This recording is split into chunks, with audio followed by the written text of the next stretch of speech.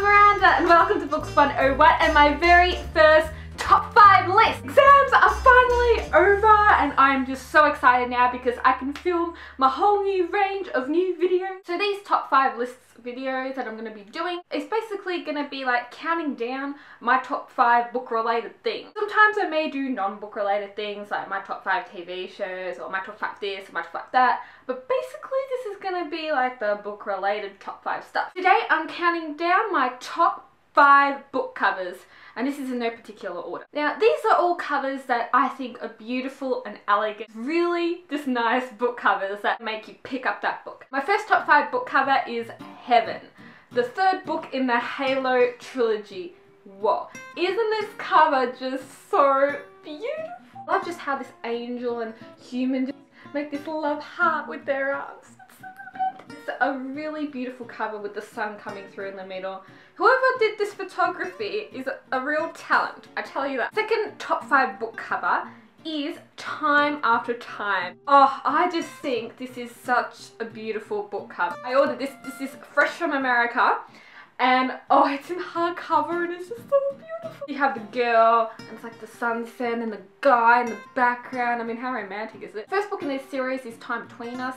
If you have not read this series, I suggest you do because it is so beautifully written. It's a really easy time travel book to understand. It's not like Time Traveler's Wife, which is really hard to understand because I read that book and that was just so confusing. But this is a great uh, series. There's two books out now. I think Tamara's writing a third book, I'm not quite sure.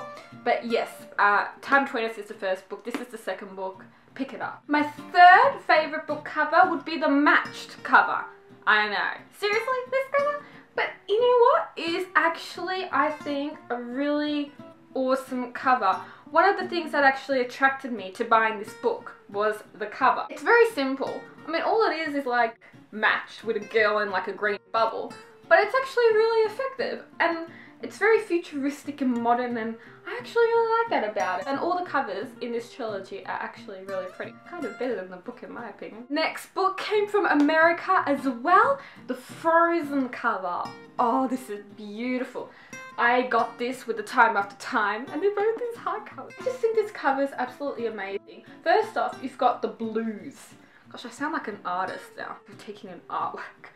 You got the blues and you got this face, you know, getting lifted out of the water. How the only thing that's not blue or like a white in the cover is this symbol here. I don't know what it means, I haven't read the book yet, but yes, I love this cover. Final cover! Oh, this is a beautiful cover. I mean, you can totally tell they're in love. I just love how it's like the heaven cover. You've got the sunset and you've got the hand reaching out to the guy's hand.